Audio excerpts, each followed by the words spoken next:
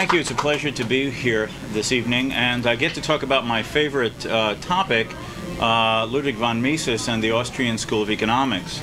I got interested in the Austrian school, in fact, when I was in high school back in the 1960s. And uh, so much so that I decided to major in economics when I went to college and university, and uh, was very fortunate and lucky to be able to uh, basically devote a lot of my time to doing research, writing, and uh, presentations on Austrian economics at Hillsdale College as the Mises professor. Uh, but what I noticed uh, in doing my reading and research and thinking about uh, members of the Austrian school was that in fact there was very little that was known about or written about uh, Mises himself, his intellectual development, his personal history, uh, his background, the activities and events that he was involved in in the Vienna between the two world wars. Uh, maybe some of you are familiar with his own book, uh, Notes and Recollections, which is his memoirs. But in fact, uh, I found it an extremely frustrating book to read because, in comparison to many uh, well known or prominent people who, in their later years, write their memoirs or their, their autobiographies, uh, he wrote an extremely cryptic and skimpy memoir. There's very little about his activities in Vienna, what ideas or events he was involved in. In fact, it leaves you more frustrated about what you wanted to know than what it reveals. And as a consequence, uh, quite a while ago, uh, I thought uh, what would be a useful uh, task would be trying to begin doing some research on uh, Mises's uh, personal background, the events of his life, and try to incorporate that into an intellectual biography, which um, I am hoping to be able to get done in the not, not too distant future. Um, the one thing that impressed me when I read his notes and recollections is that certain passages in the book gave a different impression of Mises the man than is often the public image of him.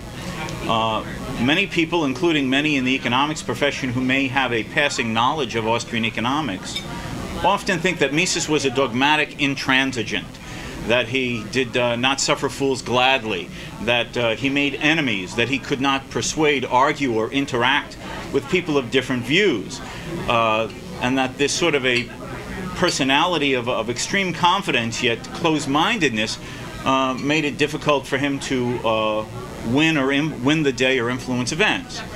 And if one talks to people who know him or knew him, uh, it is true that that was there, that element in him. But what struck me when I read Notes and Recollections is that there was, seemed to be aspects of him that were that was not reflected in that public image. For example, when in the book, he talks about his private seminar. Uh, he says, My main teaching effort was focused on my private seminar. Beginning in 1920, during the months to June and to October, a number of young people gathered around me once every two weeks. My office in the Chamber of Commerce was spacious enough to accommodate 20 to 25 persons. We usually met at 7 in the evening and adjourned at 10:30. In these meetings, we informally discussed all important problems of economics, social philosophy, sociology, logic, and the epistemology of the sciences of human action. In this circle, the younger Austrian School of Economics lived on. In this circle, the Viennese culture continued one of its last blossoms. Here I was neither teacher nor director of the seminar. I was merely first among peers who himself benefited more than he gave. And then what struck me and that gave an undogmatic sense of him we formed neither school, congregation, nor sect. We helped each other more through contradiction than agreement. But we agreed and were united on one endeavor to further the sciences of human action. Each went his own way, guided by his own law. We never organized or undertook anything that resembled the nauseous carrying on of the German imperial and post war scientists. We never thought to publish a journal or a collection of essays. Each worked by himself as befits a thinker and yet each one of us labored for the circle, seeking no compensation other than a simple recognition, not the applause of his friends. There was greatness in this unpretentious exchange of ideas. In it, we all found happiness and satisfaction. Now, that presents an image of himself and how he viewed himself and the people he interacted with, which is often different than the one that was often uh, portrayed in in certain views or concepts that people have of him in the economics profession. So that intrigued me too to try to find out about him. So this past summer, I had an opportunity to begin sort of the uh, the legwork on doing this, and uh, I was a fortuitous. I had a fortuitous circumstance, is that uh, when I was in Moscow in uh, the summer of 1991, uh, I met someone who became my wife. Uh, for whom I suppose I should thank Mikhail Gorbachev, because if it hadn't been for Glasnost, I couldn't have gone there. And anyway, uh, besides privatizing state property, uh, I also uh, had the lucky, lucky, lucky circumstance is that uh, I've been able to use her in, in, in two double uh, linguistic endeavors. When I have been in the former Soviet Union, I have exploited her to be my translator into Russian. And while I studied German for reading when I was in college, I must confess that my German was always bad and as years goes by becomes even worse. My wife also reads and speaks rather good German. So here was my opportunity. A built-in translator to assist me in my work. And I must confess that all of my work this past summer uh, as a starting endeavor would have been impossible without her. Also, she had another talent, which I must say, as an armchair scholar, I had not. Uh, her background is in uh, intellectual history, particularly of the American studies, and she had done archive work. As an armchair theorist, I hadn't. So here on top of, besides someone who could read and, and, and go through the German, she was someone who knew the ins and outs how to carefully go through the archives and not miss interesting or useful things.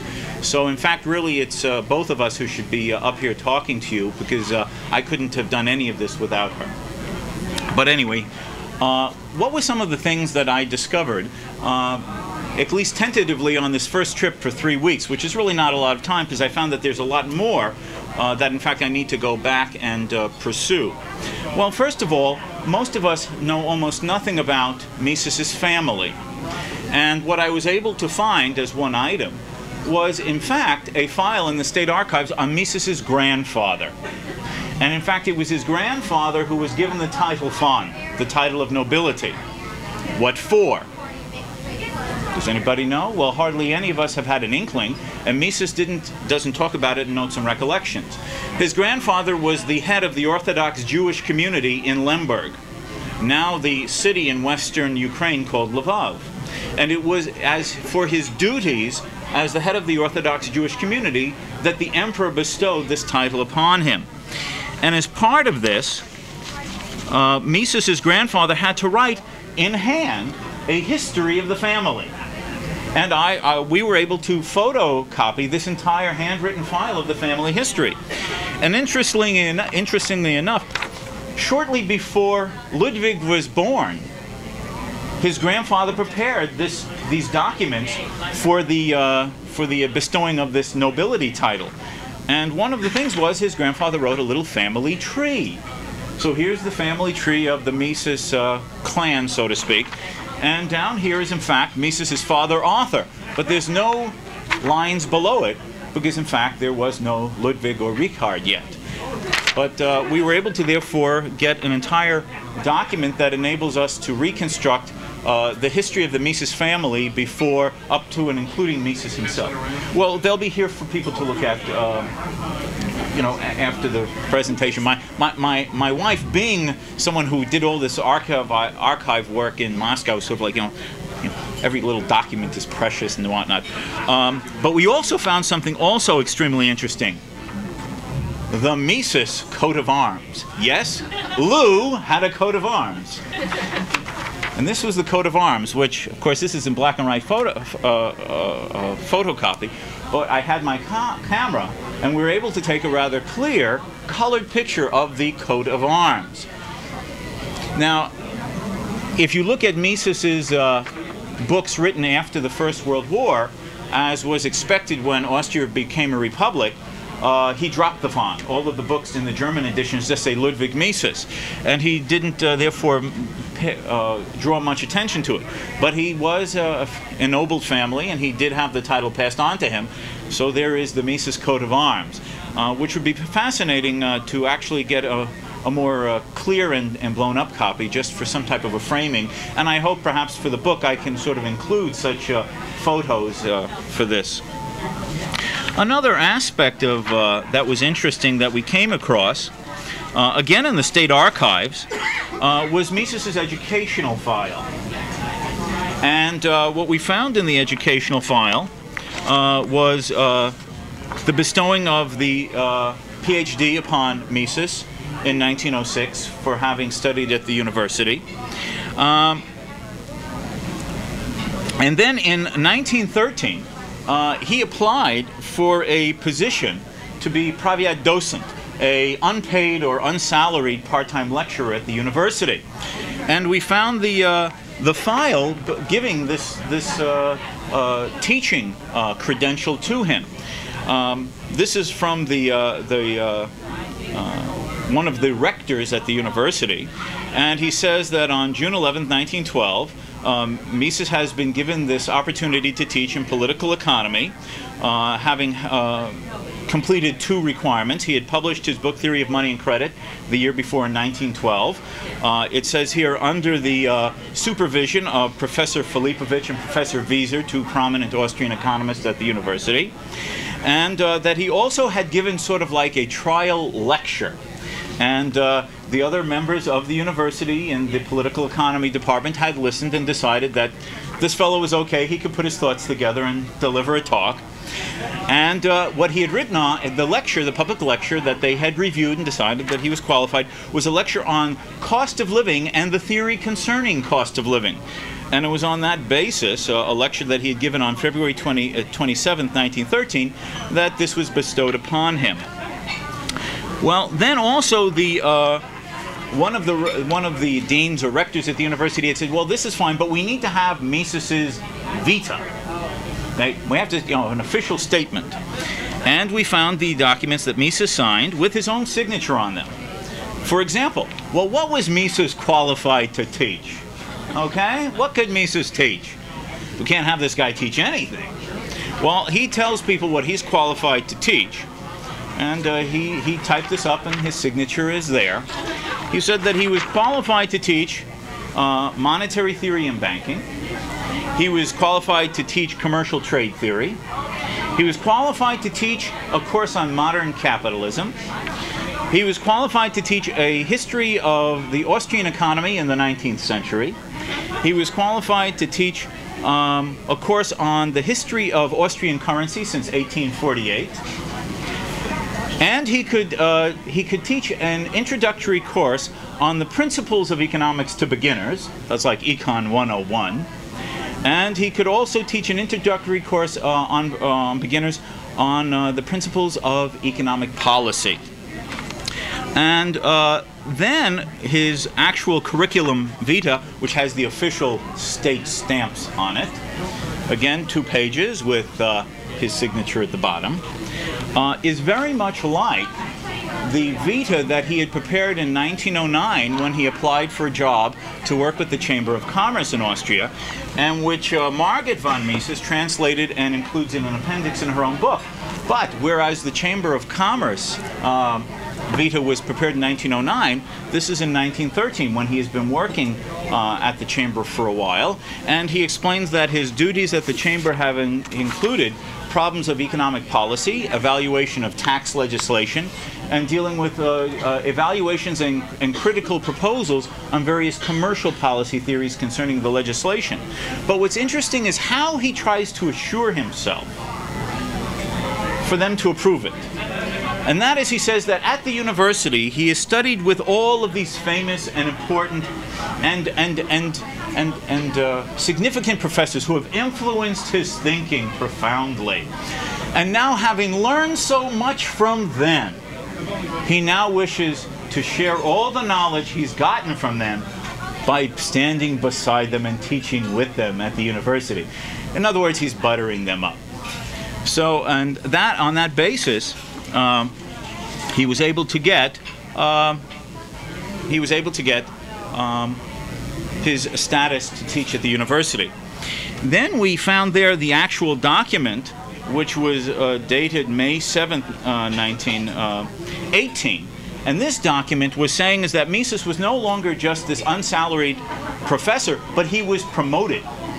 He's still on salary, but promoted. He's now an associate professor, and this was May 7, 1918. But what was interesting about this document is a stamp that's on it. Now, this is a 1918 stamp, but it has a swastika on it. What had clearly happened is that after the Anschluss in March 1938, Mises, who was not one of the favorites of the German National Socialist Party, and as some of you may know, Mises's personal papers and library were carted off by the Gestapo and disappeared.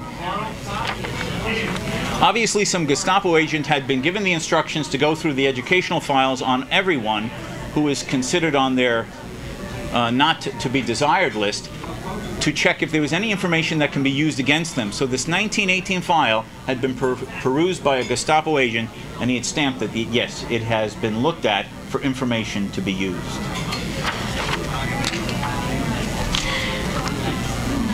Now, Mises began working at the Chamber of Commerce in 1909, but there was a period when he had a break from that.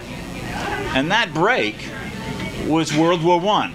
Mises served in the Austrian army in an artillery regiment on the Eastern Front.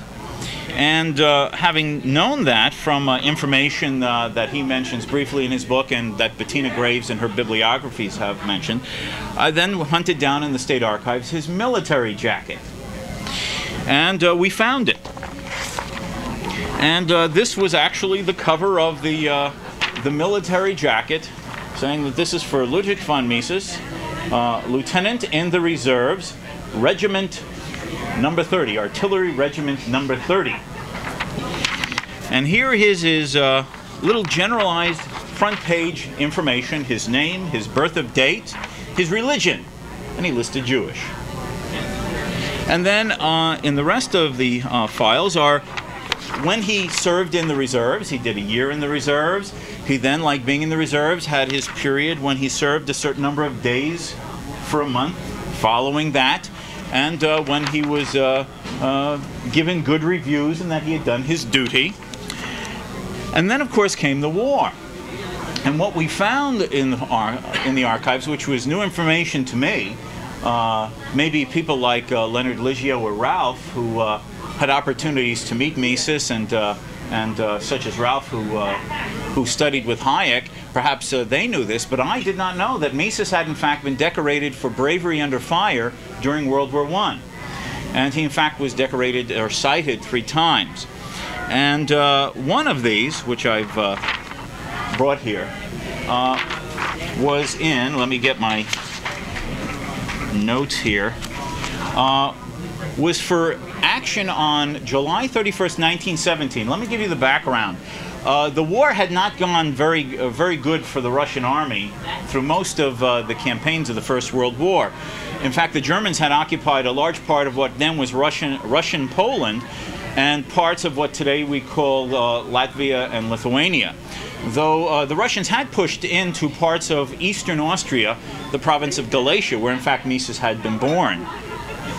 Uh, on July 1st, 1917, uh, the provisional government of Russia uh, attempted to regain the, uh, the offensive on the Eastern Front, particularly to bolster the provisional government.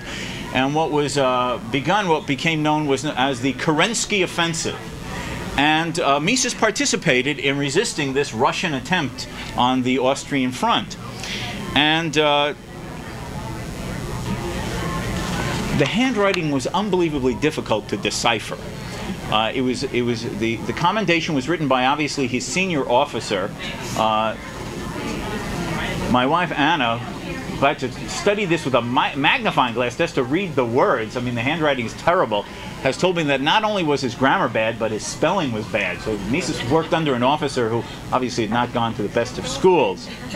Uh, we both of us are saying now now wait a second what those letters are anyway but what this says here is the aforementioned ludwig von mises was engaged on july 31st 1917 in the battle of Zadova, as commander of a large caliber uh, cannon unit in the further course of action both of his advance guard batteries were directed against superior guard fire of the enemy, the Russians. From this exposed position, he held back the enemy and made them retreat. yes, he pushed back the Russian hordes. In a following battle on August 2nd, 1917, he took part in the outstanding job of knocking out one of the enemy batteries, in which he brought back three of the enemy's cannons and, uh, and one cargo wagon into our hands. Mises as war hero. Whoever said these, the, these classical liberals aren't willing to go into battle and fight for their country? Okay. Mises, no pacifist he. okay. Um, I, it didn't show up in the records, but it's clear that it, due to some of the, the action he saw in the front, he had some physical problem, particularly in hip, a hip injury, uh, which required him to apply for uh, rest and recreation on the home front. And uh, part of the military file was his medical file as well. And uh, it was very interesting. Mises was a very determined fellow. Um, he applied for six weeks' leave to go to this resort in the Austrian Alps. And they gave him four weeks. Uh, but being persistent, while he was away for his four, four, four weeks, he kept writing he wanted an extra two weeks. I have a feeling he just liked it there and uh, he just wanted to re rest and recuperate a bit longer. But he was called back because what we then found out was that he received orders. Um, this was in 1918. In the summer of 1918, he had had this uh, uh, rest and recuperation. But as soon as this was over, he had orders to report back now into what was occupied Ukraine. If you remember a little bit of your history, in uh, March 1918, now the Bolsheviks' uh, revolution has occurred. Uh, Lenin is concerned with saving the revolution, and saving the revolution means making a separate peace with the Germans to have the Germans uh, off uh, their backs to be able to uh, resist what he sees as the emerging counter-revolutionary forces, and a separate peace was signed. And part of the separate peace resulted in all of the Baltic republics, and today what we call Belarus and uh, Ukraine, coming under Central Power occupation. And this meant that large parts of the Ukraine were under Austrian occupation. And as part of this, Mises was ordered uh, in the fall of 1918 to immediately uh, take first class transportation. We found the telegram ordering him there. First class transportation to Odessa. And at Odessa, he was to become the commander in charge of currency and financial supervision for the occupied territories in the Ukraine. So Mises already is trying to, you know, maintain sound money in, in, in, in, in Eastern Europe. Uh, what was not in the military file was any of the information uh, concerning what he did during his period in charge of uh, currency and financial matters in occupied Ukraine. I have a feeling that what this will require is to dig into not the state archives, but the imperial military archives and to get the information for the division and regiment and command that he was in, in connected with. And in that archive should be the records of his reports, memorandums, of what he did and uh, the outcomes of his period there. And then uh, we also found the, the documents uh, when he was mustered out of the uh, Army, uh, which was in early 1919.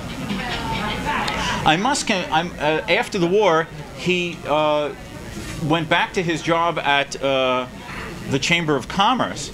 Uh, but he also had another uh, position uh, for two years at the end of the war, and that is he was the Austrian commissioner for the League of Nations for Austrian reparations.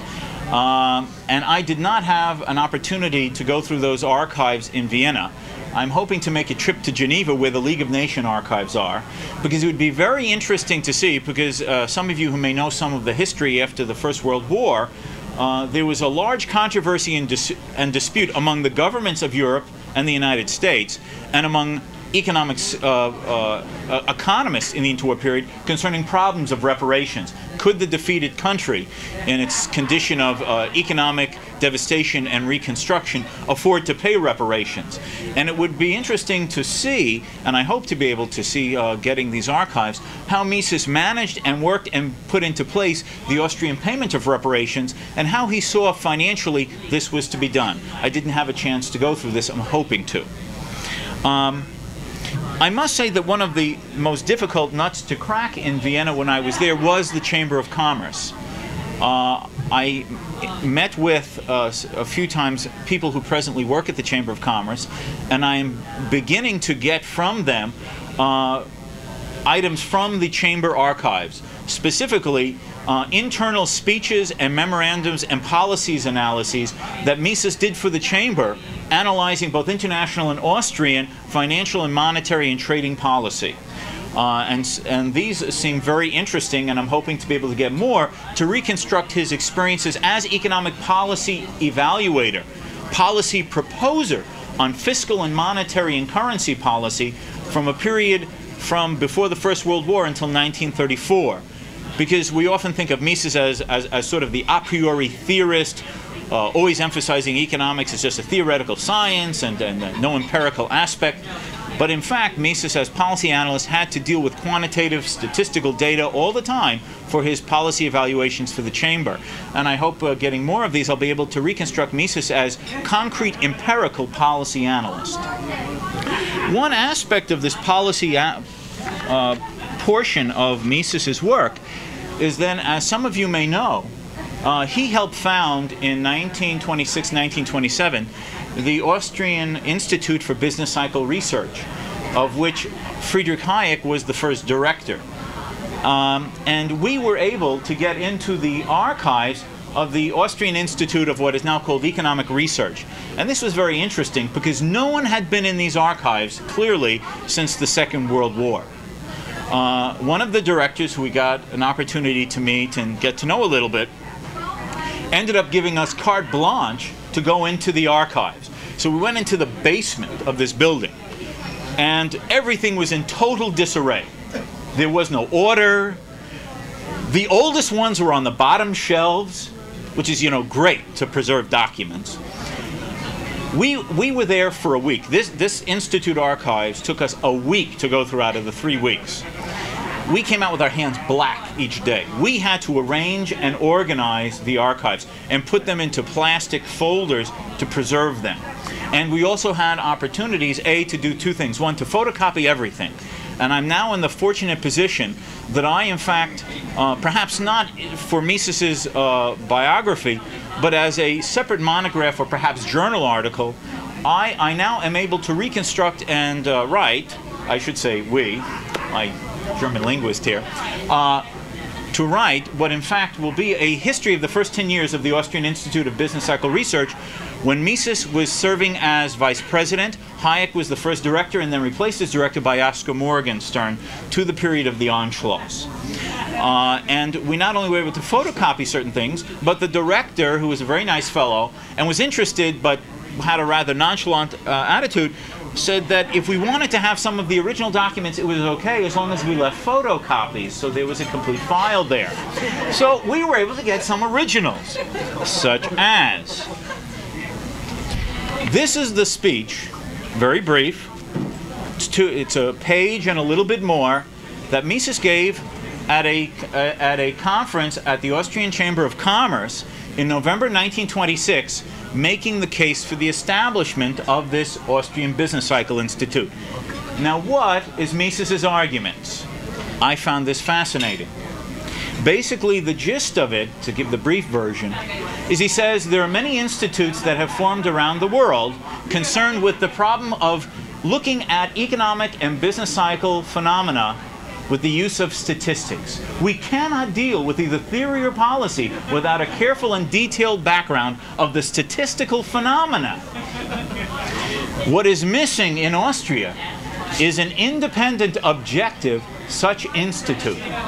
Too often, the statistical studies are influenced by the biased, subjective interests of the institute or the party that has organized work in this. And therefore, he is proposing and making a strong case that there be financial support for this institute, that there be endorsement of this institute, precisely because it will be the supplier and the evaluator of the hard statistical facts to do better policy judgments without being influenced by the biases of party politics.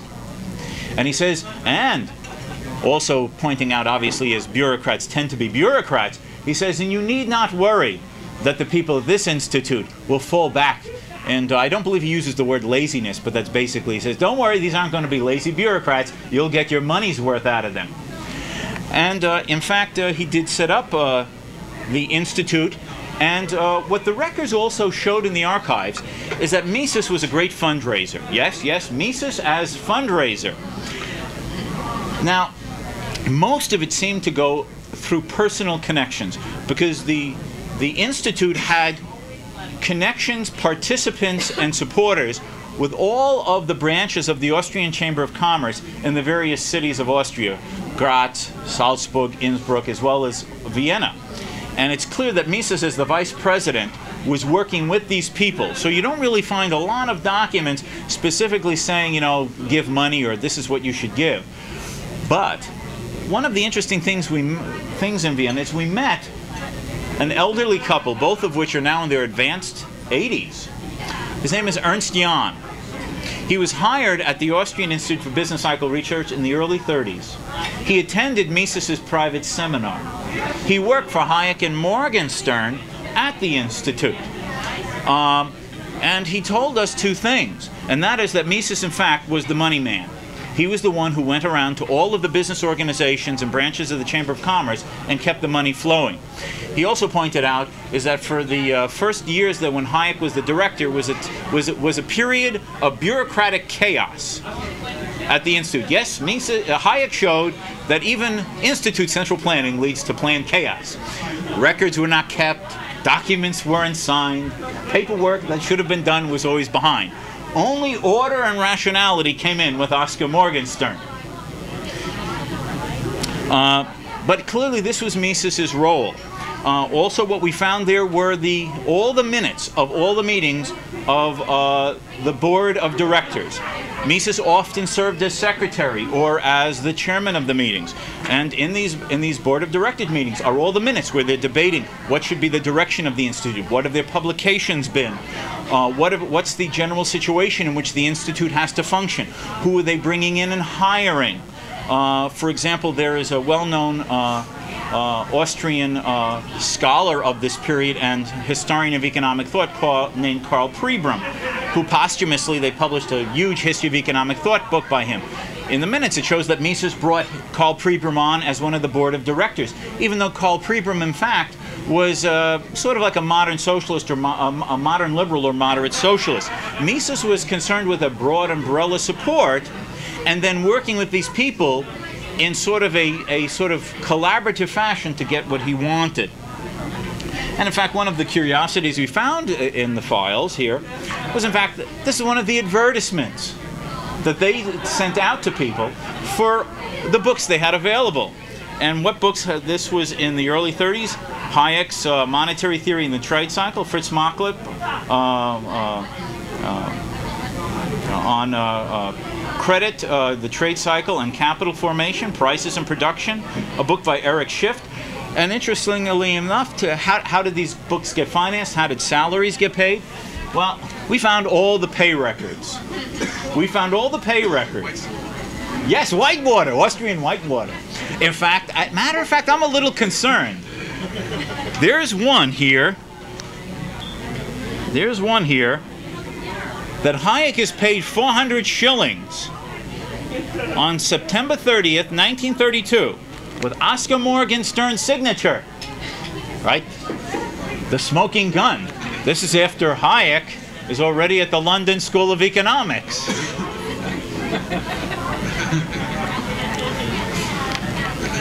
we'll hide that one.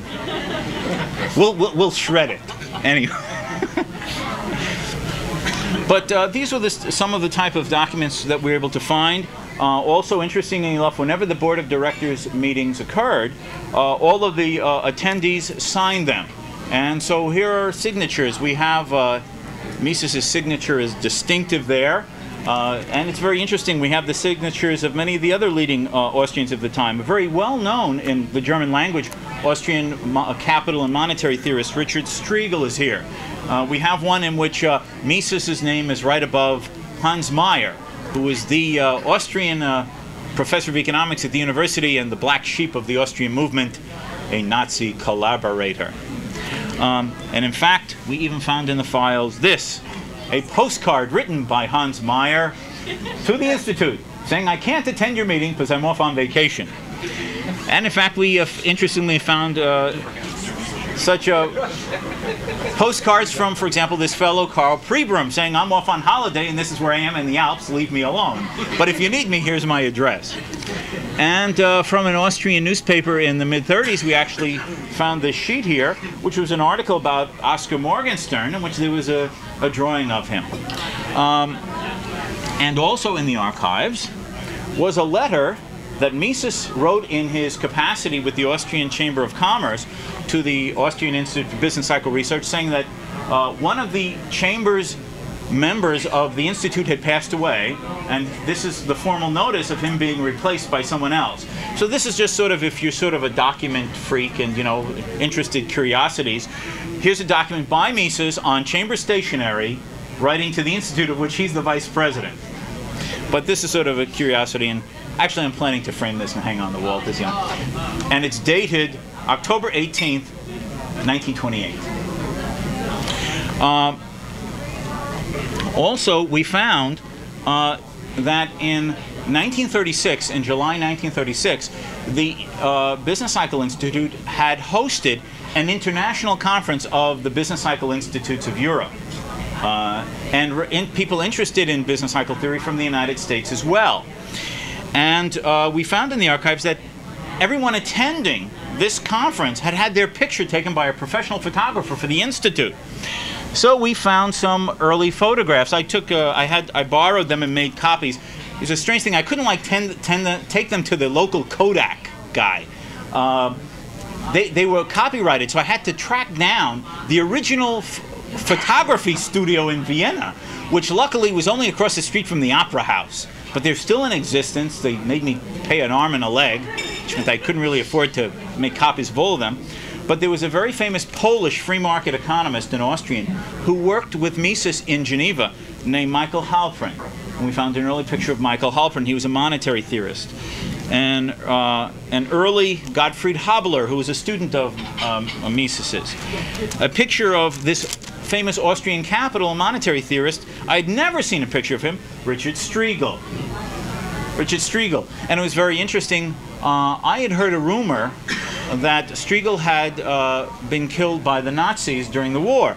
In fact, he had a lung cancer, and uh, he died from lung cancer in 1942. Hayek, in fact, in, in, in London, wrote a obituary about him during the war, saying that one of the great hopes of a revival of true liberalism in Austria was now lost, because being, besides being an Austrian theorist, he was a leading classical liberal, and he was seen as the hope after the war of a revival of these ideas, and he passed away.